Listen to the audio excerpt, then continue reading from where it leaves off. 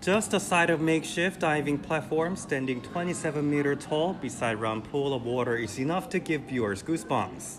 Imagine athlete performing a death-defying plunge, doing somersaults and twists before hitting the water feet first.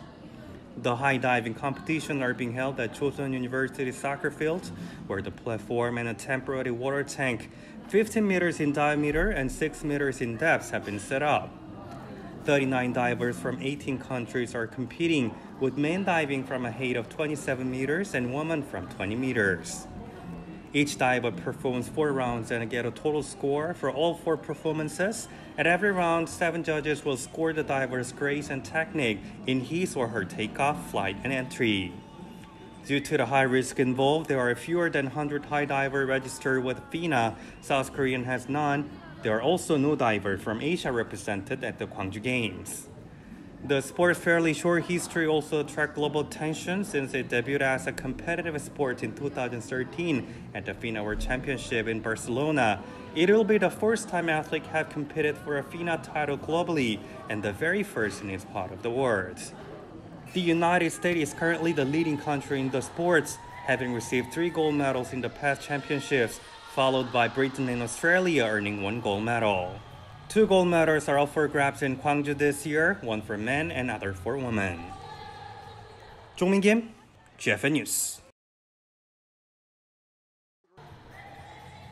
Today was the most successful day for the host nation in the pool so far. Two South Korean swimmers reached the semi-finals of their respective races in the FINA World Aquatics Championships. Lee Joo-ho qualified for the semi-finals in the men's 200-meter backstroke, becoming the third swimmer from the host city to reach the stage in this competition. He clocked 1 minute 57.80 to finish in 12th place in the heats, with the top 16 moving on to the semis scheduled for 9.35 tonight. Baek qualified for the semifinals in the women's 200-meter breaststroke, finishing in 16th place. The semifinals will begin at 9.21 tonight.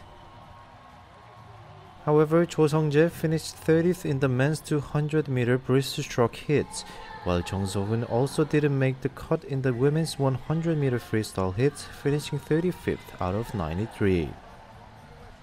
In the women's 4x200-meter freestyle relay, South Korea finished 12th in the heats, earning a spot in the 2020 Tokyo Olympics in the process.